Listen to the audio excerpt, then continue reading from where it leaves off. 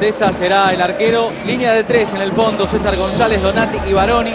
Dos para recuperar. Sánchez Paredes y Fioreto. Dos para jugar por afuera. De Valis por derecha. Frederick por izquierda. Visconti, Núñez y Ríos. Los atacantes. Núñez levemente inclinado para armar juego. El ex News Old Boys de Rosario.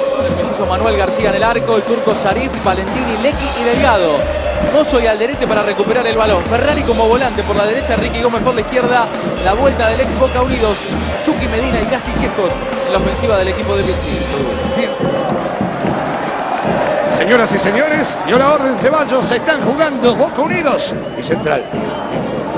Mi estimado, mi querido Trigini. Por supuesto que no, señor Rico. Siempre le contesto lo mismo, ¿no? Rivarola, Solito Medina, Solito Medina, Solito Medina. Rivarola, Medina. Engancha Medina. Ferrari, ya pasó el turco, ya pasó el turco. Este es Sarif. A ver qué pasa con esta. Centro al área, llegó Castillejos. Lateral, señores, favorece a Central. La meterá Ricky Gómez. Rivarola.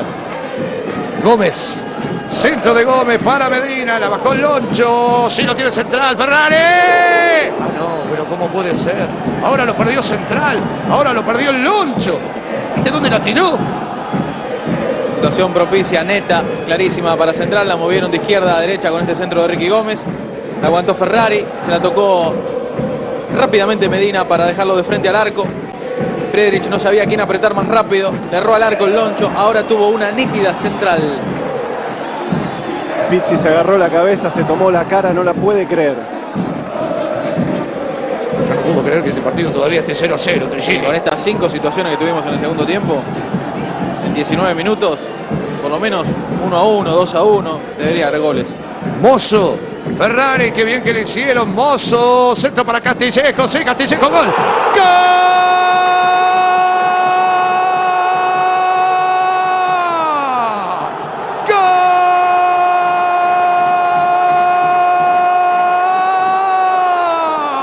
Central. A los 19, sí, a los 19. Apareció el goleador, apareció Castillejos. Central 1. Boca Unido 0. ¿Cuándo me vas a creer?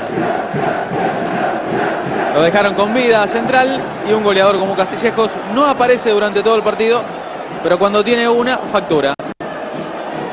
Apareció Mozo en ataque, en la anterior se lo perdió Ferrari, Mozo tiró un centro bárbaro, excelente, con ventaja para el atacante, para ganarle la espalda a César González. Castillejos se paró en la jugada donde la jugada lo pedía, yendo a buscar la posibilidad de pase, el balón, podía haber jugado el anticipo, la esperó en el segundo palo y él sí la metió, él sí le acertó al arco central, llegaba menos, la pasaba mal, pero se pone en ventaja. Los goles que se agarran en el arco rival habitualmente se sufren en el propio. Pasa en este partido, está ganando el equipo rosarino. Cuarto de Castillejos en este torneo. Ahora me querés, Frete, vos también, ¿no? Yo siempre lo quise.